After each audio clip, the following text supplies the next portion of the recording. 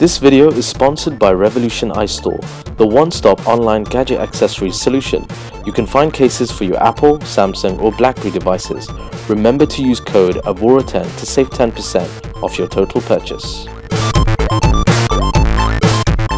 Yo, what's up guys and girls? It's me, EMKWAN, your favorite geek, here with Avorah TV. Peace and blessings to you all out there. Hope you guys are well. And we're looking at the new iPad.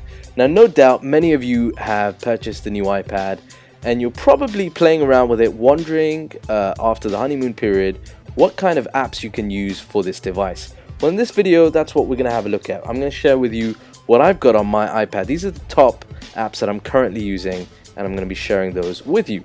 So there's a range of really awesome apps but one of the apps that are missing from the iPad is a good calculator app. And this app I managed to find online. It's really really simple, sweet. It's called Jumbo and it's a free app to download. It's your solution for a calculator. If you're looking for one, there's no ads in this, there's none of the kind of, you know, different skins and this, that, the other. It's just a simple, what you see is what you get. Really awesome calculator app for the iPad.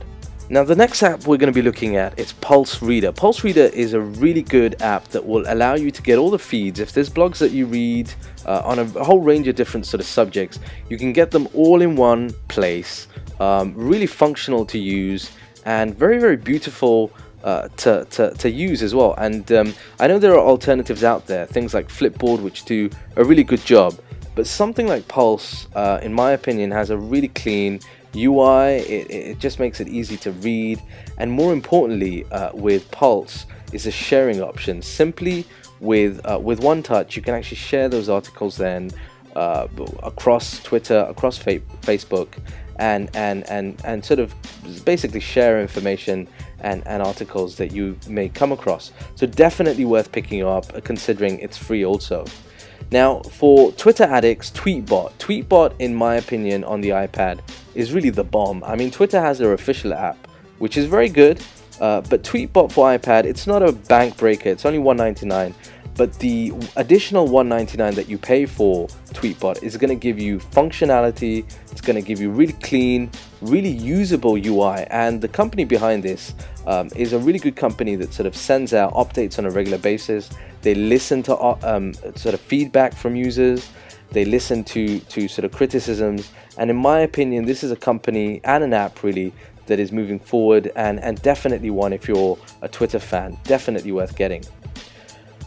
The next app is going to be a productivity app. This is something called Things. It, Things is a get things done a specific app. In layman terms, it's basically a, a specialized to-do list and it's slightly pricey at $13.99 but in my opinion uh, get things done uh, it needs to be done in the right way and in, uh, there's a bunch of apps out there but things is on par and on on the level that's needed for those people that are going to follow that format.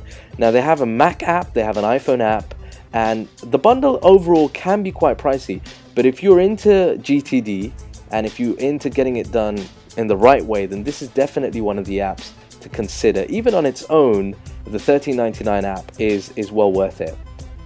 Now the next app is another productivity app, Office HD. We know that Apple has released um, the official pages, Keynote, and numbers, but Office HD is the cheaper alternative and actually, in my opinion, the, the better alternative. You get access to workbooks, so you can have sort of Word documents, you can have Excel files, and all of that for, uh, for a basically 549 which is an awesome, awesome price.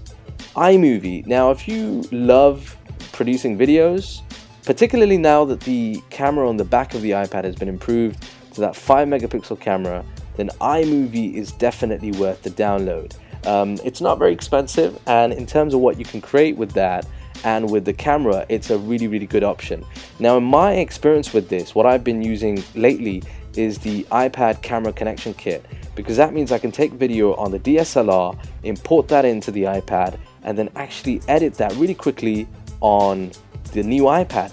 And with that enhanced processor, it's a really excellent option if you're going to produce video on, on the iPad. So that's it guys, a very quick look at some of the top apps in my opinion. Let us know if there's any others that you would recommend and we'll see you in the next video.